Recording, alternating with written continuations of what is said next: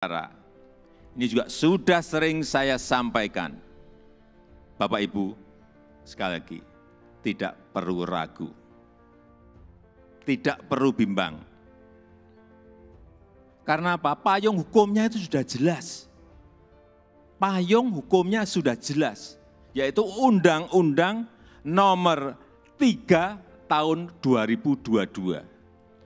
Dan itu, ini juga kita harus tahu semuanya, itu sudah disetujui 93 persen dari fraksi-fraksi yang ada di DPR.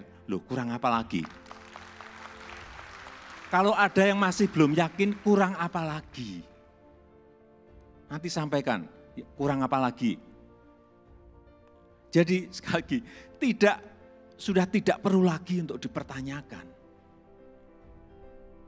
Ini ada ketua MPR ada di sini Pak Bambang Susatyo juga.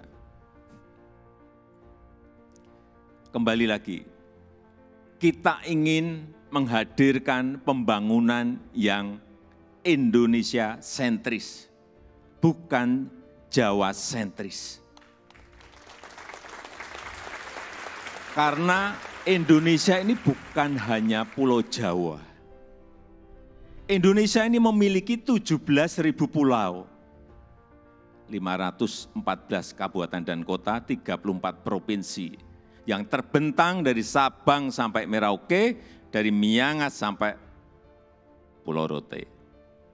Dan ada tapinya, tapi saat ini 58 persen dari PDB ekonomi kita, dari ekonomi kita terpusat di Pulau Jawa, 58 persen. Kemudian populasi 56 persen atau sekitar 149 juta penduduk kita ada di Pulau Jawa, bermukim di Pulau Jawa.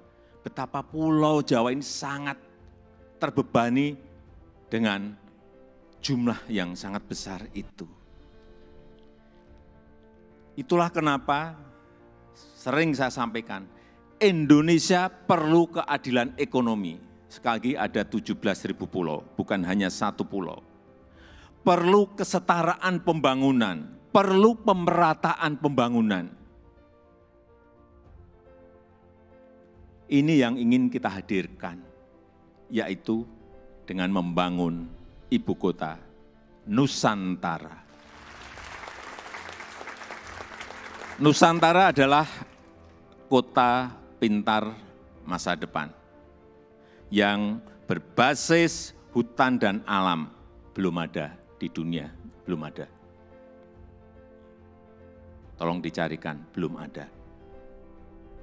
Ini yang membedakan, ini yang nanti menjadi diferensiasi ibu kota kita dengan ibu kota negara-negara lain. 70 persen areanya nanti adalah area hijau. Lahan yang digunakan untuk membangun IKN, ini awalnya adalah hutan produksi. Jangan ada yang keliru bahwa ini hutan alam, bukan. Hutan produksi.